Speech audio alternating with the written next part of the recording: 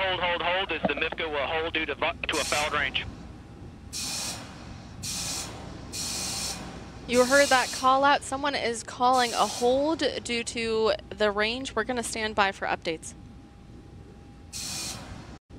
And I just got confirmation there is a boat in the range. We're going to stand by to see if they can clear the boat from our radius.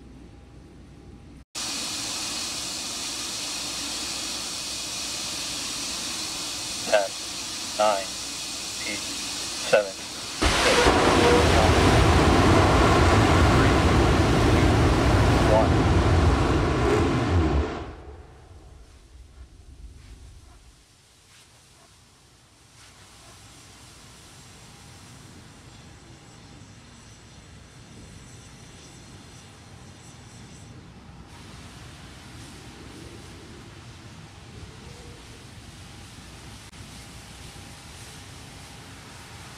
As you can see, we had ignition of our engines, but the T-clock did hold at T0. We're going to stand by for updates. Announcement on Countdown Net. This is the LD.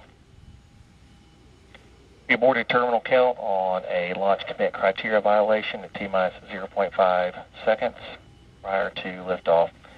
We're safe in the vehicle and assessing recycle opportunities.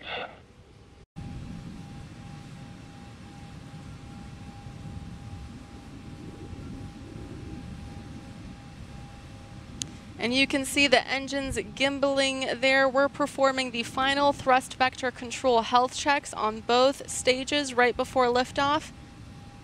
You can see stage, Stage one, one is on internal power. engines there. Propellant topping close closeout. Flight computer and countdown.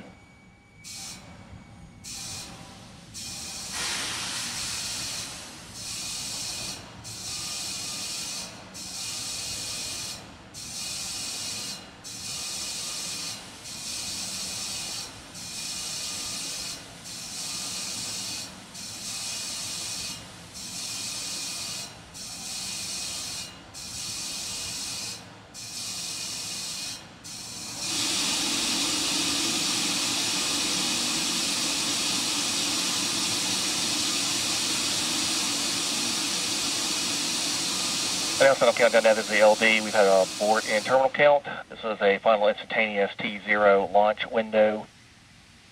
We are going to be scrubbed for the day, safing up the vehicle. Thanks for playing.